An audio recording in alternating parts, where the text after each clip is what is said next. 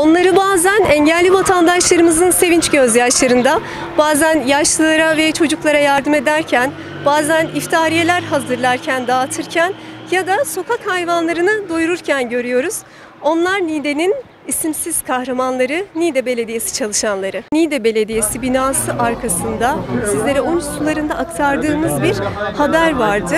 Bugün bir hayata dokundular, bir intihar girişimini engellediler. Merhabalar, önce sizi tanıyabilir miyiz? İsmim Abdurrahman Uslu, İşletme ve İştirakler Müdürlüğü personeliyim. İsmim Mustafa, bilgi işlem personeliyim. Ee, arkadaşımla beraber öyle e, arasına çıkarken, cuma namazına giderken olayın e, geliştiğini gördük. Arkadaşım Abdurrahman e, olaya müdahale etmemiz gerektiğini, adamın atacağını kendini söylediler. Biz de koşarak yukarıya çıktık. Ee, pencere boşluğundan kendini sarkık bırakıp kollarından Abdurrahman arkadaşım tuttu. Sonrasında diğer arkadaşlarla beraber e, elektrikli süpürgenin kablosuyla tabiri caizse bağlayarak onu orada tutmaya çalıştık. Sonrasında hep beraber yukarıya çektik. Bu şekilde bir e, çabamız oldu.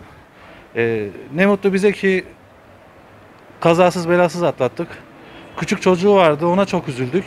Ağlıyordu. Ya en azından buna bir e, sevindirebildiysek bizim için ne mutlu. Bize yani bu kadar ne diyeyim Siz bir şey söylemek ister misiniz? Yani ne mutlu ki biz bir canı kurtardık yani.